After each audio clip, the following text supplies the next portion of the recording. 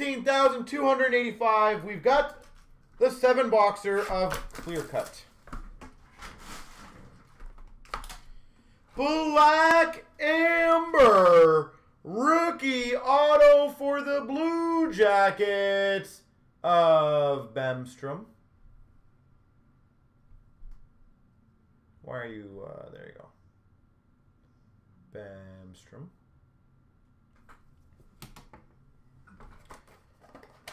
Golden, and obviously anyone else can answer, but it seems like Golden's the only one talking to me. Have you guys started seeing what some of these even like, not basic cards, but smaller cards in McDavid are starting to go for? For the Montreal Canadiens, Ryan Poehling. That's a decent rookie auto. Poehling rookie auto for the Habs. I was looking up some, uh, I think some customer brought in, I think it was a glossy, I believe it was. A glossy rookie of McDavid. My God, man, some people. That's a really good one, I would think. A black amber auto for the Panthers. Alexander Barkov.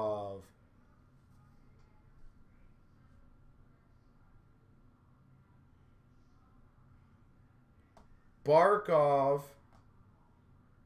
You know the other cool one is, by the way? Golden, uh, no, so that's what it was.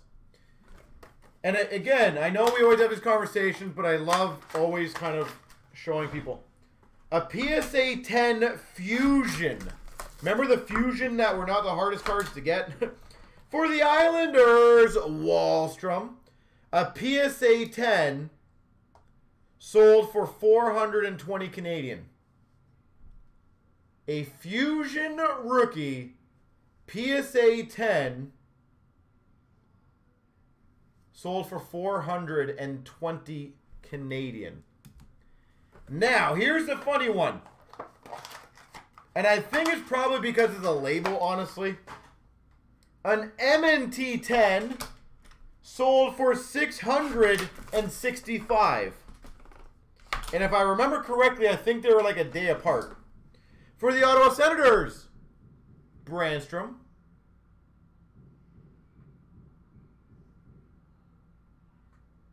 Rookie auto, Brannstrom.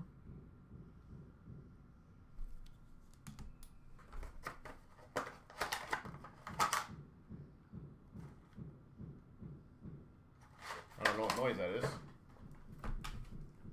I gotta find that out what noise that is. For the Maple Leafs, Sandin. Rookie auto. Sandin.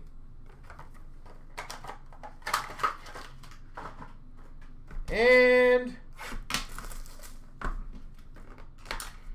for the Winnipeg Jets, Mark Scheifele.